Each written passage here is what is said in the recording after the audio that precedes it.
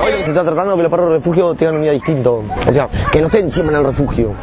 La gente se, se está concientizando más con la causa de los refugios, entendiendo que en el refugio pueden encontrar cualquier tipo de perro, que no necesita, no tiene necesidad de salir a, a comprar, ¿verdad? Estaría bueno erradicar un poco ese mercado. Y es una manera que la gente te tome cariño al perro también. Todos estos son para adopción, para que la gente los vea y por ahí si tenemos suerte, algunos también ya se consiguen un hogar.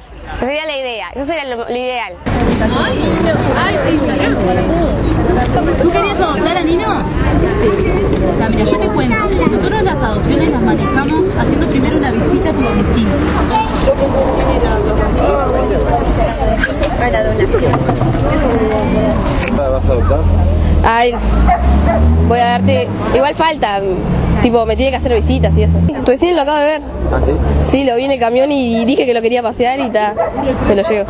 Estamos en contra del comercio, no, no de las razas de animales, sino del comercio.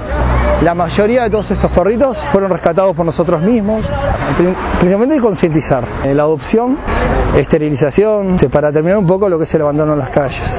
El maltrato también, muchos de ellos son víctimas de maltrato. Eh, Pero creo que hay un cambio, hay una concientización. Estaría bueno si pudiéramos tener más apoyo de los medios. Eh, yo que sé, por ejemplo, el tema este de Tinelli con el bailando y todo eso del refugio ha servido, este, pero sería bueno que se vuelque mucho más. Este, que, Disculpa, ¿se puede acariciar? ¿Cómo no? Lo que vos quieras. ¿Querés pasearlo? No, no, no, él, eh, él no. Él es un mimoso. Cosita linda. Míralo. Este, él es Gillo. Él es el que ingresó después que hubo que sacrificar a Gigi, la, la vaquita.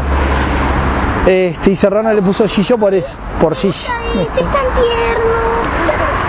Tómalo si querés. Espera. ¿Estás acá? Lo ya sé, Claudia. Yo sé. Claro, si pudieras, poder, por ejemplo, hace 3, 4 años decía vos, eh, y hoy, hace como un ejemplo, como que... ah, No, un cambio total. Es decir, hace un año que me volqué a, a ser vegetariano. Eh, eso fue por conciencia propia, porque me parecía, es decir, entre comillas, este, un poco ilógico este, pelear por los derechos de ellos y, y- y comerme un, una hamburguesa. Eh, fue todo un proceso en la cabeza. Yo creo que la mayoría de, de nosotros eh, eh, nos volcamos también a eso porque creo llega en el paquete. Cuando vos te haces bichero este, y empezás a, a tener estos sentimientos hacia ellos, eh, te sale. Este, eh, por eso en el mundo entero hay una corriente que está creciendo cada vez más, lo del veganismo y el vegetariano. Hay que seguir pinchando cabezas, eh, hay que castrar, este, no es solamente adoptar, porque cada uno de nosotros nos podemos llenar con, con 10 perros cada uno, pero ¿de qué sirve si, si el vecino cree que la opción más fácil es poner la cajita de cachorros que tuvo cría su perra en la vuelqueta? Ahí no avanzamos más. ¿Sí? Eso le encanta. Yo te digo, ve cualquier perro y va y le dice si lo puede tocar. Y es muy bichera. Pero ya te digo, la acostumbramos desde bebé. De bebé a no pegarle, no nada. ¿Quieres algo comida? No trajimos comida. Bueno, le gusta, pero no lo podemos llevar. ¿Eh? ¿Qué qué te pronuncia?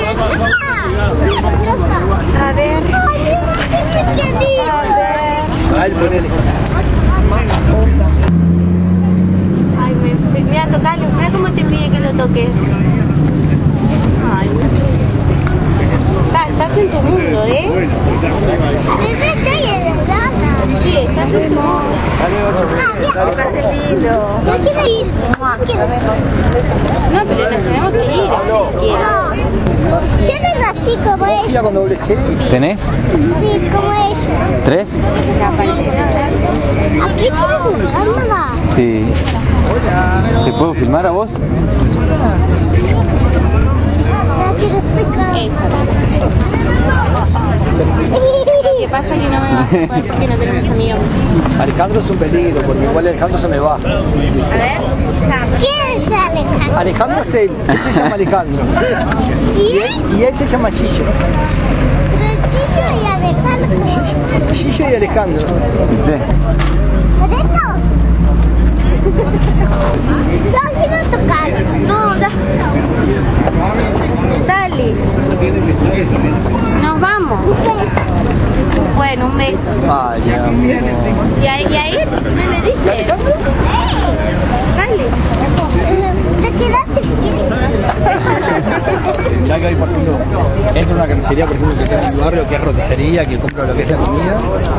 Uy, me cuesta mirar Te cambia todo. Muchísimas gracias, ¿eh? La colaboración. La verdad, 20 veces. Gillo es, es, es, es un agradecido. Alejandro, mira, Alejandro fue una publicación que decía perro atropellado enfrente de la ruta 5, ¿viste? Nos volvimos locos. Y yo justo tenía que ir a la chacra a llevar unas donaciones. Y agarré, fui hasta ahí. Tenía la cadera fracturada, tenía doble fractura en una pata, una fractura en la otra pata. Y así agarré y lo llevé a lo de Silvana Fernández. Es una pena que no tenga un labrador. Alejandro estuvo internado como tres veces en la Silvana Fernández. ¿Con Silvana Fernández? Vamos. Y al haber sido maltratados también son como más agradecidos, ¿no? Fíjate que ellos viven realidades que por ahí un humano no, por ahí comúnmente no lo superaría. ¿Entendés? Es decir, imagínate que a vos te abrieron la puerta y te tiren a la calle. ¿Entendés? Digo, este, precioso. Eso registro de nacimiento, eh. Ay, pobrecito. 12 años. Y se orienta bien. eh, sí. Aprende todo por señas. Ay, pobrecito. Complicado, pero bueno. Ah, mira.